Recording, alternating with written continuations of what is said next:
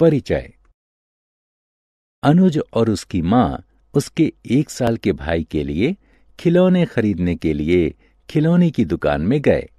अनुज ने अपने आप को विभिन्न तरह और आकार के खिलौनों से घिरा हुआ पाया। कुछ खिलौने गोल थे तो कुछ चौकोर।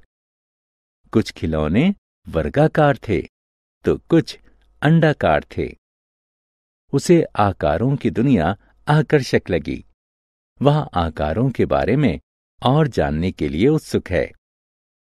आकारों के अध्ययन को जयामिति कहते हैं। इस पाठ में हम आकारों के बारे में विस्तार से जानेंगे। आओ सीखें। रेखा, रेखाखंड और किरण को परिभाषित करना। रेखाखंड को मापना। वृत्त बनाना। प्रतिबिंब को परिभाषित करना। सरकने, पलटने और घूमने के बीच विभेद करना। किसी वस्तु के समतल, उन्नत और पृष्ठ दृश्य के बीच विभेद करना। रेखा, रेखाखंड और किरण। रेखा किसी सीधे पथ पर बिंदुओं का समूह होती है। दो बिंदु बनाइए। उन्हें मिला दीजिए। इसका परिणाम एक सीधी रेखा होगी। रेखा में कोई अंत बिंदु नहीं होता। ये दोनों सिरों की तरफ़ अनंत दूरी तक बढ़ाई जा सकती हैं। रेखाखंड रेखा का भाग होता है। इसमें दो अंत बिंदु होते हैं। इसकी लंबाई निश्चित होती है और इसे बढ़ाया नहीं जा सकता। किरण भी रेखाखंड की तरह रेखा का एक भाग होती है। हालाँकि इसमें सिर्फ़ एक अंत बिंदु होता है। अतः इसे एक सिरे की तरफ़ अनंत दूरी तक बढ़ाया जा सकता है। किरण का सबसे प्रचलित उदाहरण है सूर्य की किरणें।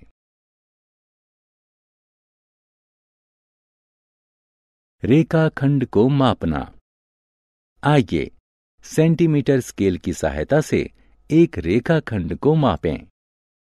एक रेखाखंड खींचिए, जिसके अंत बिंदु P और Q हों। स्केल के शून्य स्थान को ठीक बिंदु P के बराबर में रखें। देखिए कि बिंदु Q स्केल की किस संख्या के सामने है। Q संख्या छह के सामने है। संख्या शून्य और छह के बीच छह सेंटीमीटर की दूरी है। इसका अर्थ है कि रेखाखंड पी क्यू की लंबाई छह सेंटीमीटर है। वृत्त। यहाँ बहुत सी वस्तुएँ हैं। एक चूड़ी, एक पहिया, एक फ्रिज भी एक बिस्किट और एक पिज्जा।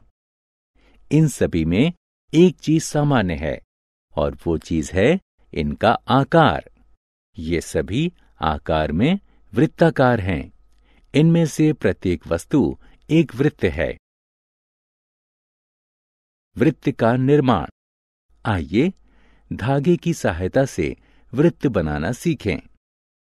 धागे का एक टुकड़ा लीजिए। धागे का एक सिरा अपनी नोटबुक से चिपका दीजिए। धागे का दूसरा सिरा पकड़ लीजिए और फिर सिरे के चारों तरफ़ पेंसिल के साथ घुमाइए। देखिए, वृत्त बन गया। स्थिर सिरा वृत्त का केंद्र है। केंद्र से वृत्त की परिधि तक, धागे की लंबाई वृत्त की त्रिज्या है। आकारों को बिछाना या चौपड़ बनाना। रजनी दवा खाने जा रही है। उसने चलते हुए ध्यान दिया कि पैदल पथ पर असमान आकार की टाइलें बिछी हुई हैं। उसने देखा कि टाइलों को बिना किसी अंतराल के एक साथ लगाया गया है। इतना ही नहीं, टाइलें एक दूसरे को आच्छादित यानी ओवरलैप भी नहीं कर रही हैं। टाइलें एक चौपड़ बना रही हैं। चौपड़ जयामिति आकारों के आवर्ती प्रयोगों से बनाई गई ऐसी द्विविमीय आकृति है जिसमें आकारों के बीच कोई अंतराल या आच्छादन नहीं रहता। घन और घनाप का जाल बनाना।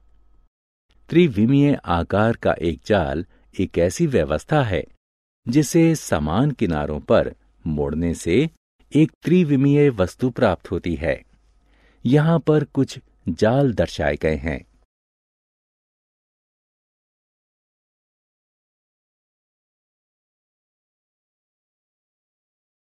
प्रतिबिंब। जब आप दर्पण के सामने खड़े होते हैं तो आप दर्पण में अपना प्रतिबिंब देखते हैं। आप वस्तु हैं और प्रतिबिंब छवि है। प्रतिबिंब के बारे में कुछ मनोरंजक जानकारियाँ निम्न हैं। वस्तु और दर्पण के बीच की दूरी उतनी ही होती है, जितनी कि दर्पण और छवि के बीच होती है। वस्तु और छवि का माप और आकार बिल्कुल समान होता है।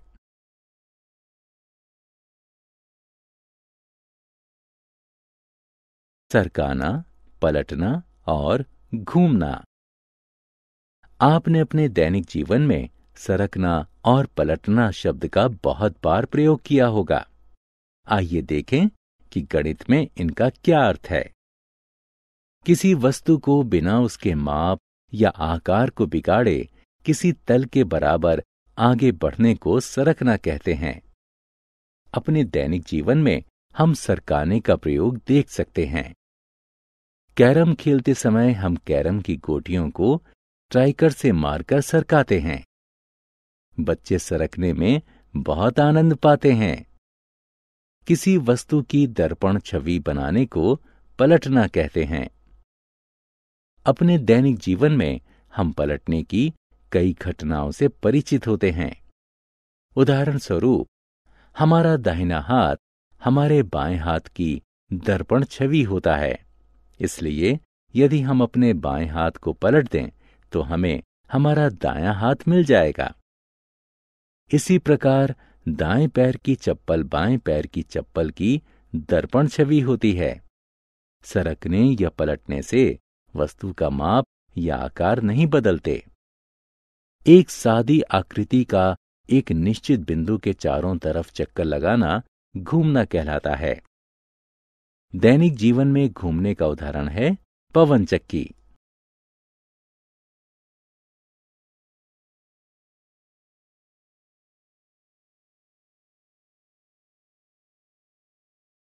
समतल, उन्नत और पृष्ठ दृश्य किसी वस्तु का ऊपर से देखा गया दृश्य उसका समतल दृश्य कहलाता है। किसी वस्तु का सामने से देखा गया दृश्य उसका उन्नत दृश्य कहलाता है। किसी वस्तु का बगल से देखा गया दृश्य उसका पृष्ठ दृश्य कहलाता है।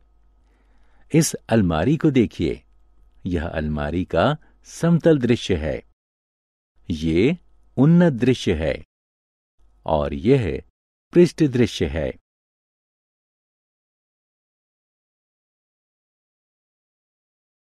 हमने क्या चर्चा की? रेखा किसी सीधे पथ पर बिंदुओं का समूह होती है। इसका कोई अंत बिंदु नहीं होता। रेखाखंड रेखा का एक भाग होता है। इसके दो अंत बिंदु होते हैं। एक किरण भी रेखा का भाग होती है। इसका सिर्फ़ एक अंत बिंदु होता है। चौपड़ जयामिति आकारों के आवर्ती प्रयोगों से बनाई गई ऐसी द्विविमीय आकृति है, जिसमें आकारों के बीच कोई अंतराल या आच्छादन न रहे। त्रिविमीय आकार का एक जाल एक ऐसी व्यवस्था है, जिसे समान किनारों पर मोड़ने से एक त्रिविमीय वस्तु प्राप्त होती है। किसी वस्तु को बिना उसके माप या आकार को बिगाड़े, किसी तल के बराबर आगे बढ़ाने को सरकाना कहते हैं। किसी वस्तु की दर्पण छवि बनाने को पलटना कहते हैं। एक सादी आकृति का एक निश्चित बिंदु के चारों तरफ़ चक्कर लगाना घूमना कहलाता है।